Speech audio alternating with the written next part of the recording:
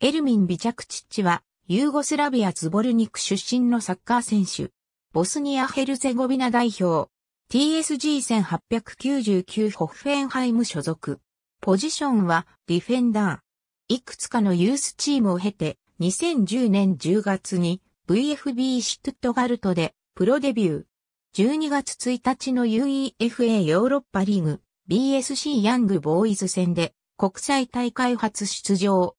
12月19日の FC バイエルンミュンヘン戦で、ブンデスリーガ初出場。2012年1月8日、アイントラハとブラウンシュバイクに移籍。2014年5月20日、ブラウンシュバイクが2ブンデスリーガに降格したため、TSG1899 ホッフェンハイムに移籍。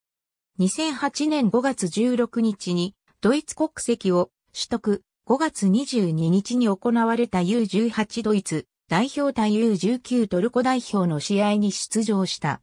21歳の誕生日の後、ドイツの法律に従い、ボスニア・ヘルツェゴビナ国籍を放棄した。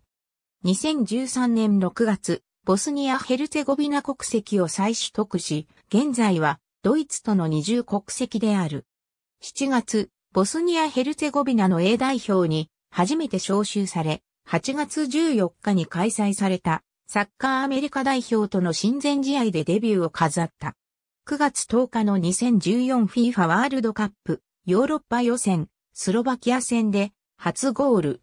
2014FIFA ワールドカップではグルーリーグ初戦のアルゼンチン戦に出場した。その後しばらく代表から遠ざかったが、9月9日の UEFA ユーロ2016予選アンドラ戦でスタメンに復帰。先制点も挙げ3から0の解消に貢献した。ありがとうございます。